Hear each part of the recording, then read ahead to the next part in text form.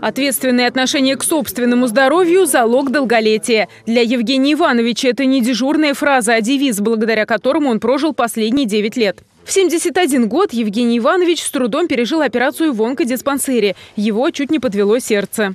Не выдержал сердце меня и привезли меня сюда. Глубокая аритмия. Я тогда действительно перепугался. Довезли сюда, здесь восстановили, и вот я до сих пор живой. С тех пор Евгений Иванович постоянно принимает лекарства, каждый месяц сдает анализы и дважды в неделю посещает занятия лечебной физкультурой. И хотя ездить приходится через весь город с поляны Фрунзе, где у Евгения Ивановича дом, Говорит, за эти годы не пропустил ни одного занятия по неуважительной причине. Я утром встаю сейчас, даже головы волосы надо растрепать и уши натереть. Я в таком возрасте, да и всем советую. Кто и помоложе, хандра какая-то, вам советую при встали на койке, да, и вот я начинаю вот все эти дела с утра. И потом пошли ниже, до пяток, до э, стоп, да, и все надо управлять. Это примерно 50 наименований упражнения за час мы здесь сделаем.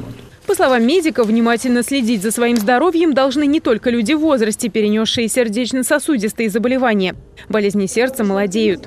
Тенденция омоложения сердечно-сосудистых заболеваний, она в самом деле прослеживается вот на моей жизни. Я здесь работаю, правда, уже достаточно много, 40 лет.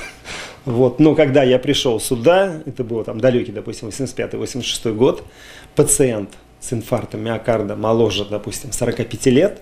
Это была такая редкость, на которую приходили смотреть вот весь персонал больницы.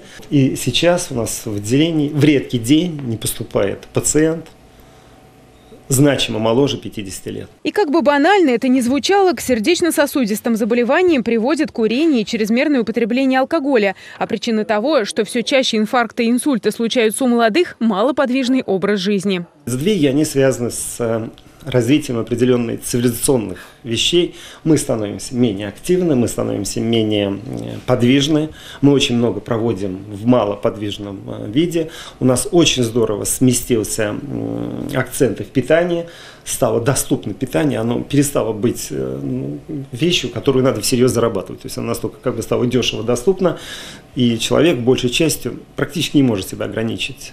Впереди новогодние праздники. Врачи говорят, несмотря на эйфорию, в этот период нельзя отказываться от приема лекарств, если они назначены на постоянной основе. Да и тем, кто не жалуется на здоровье, злоупотреблять майонезными салатами, жареной пищей и алкоголем не стоит.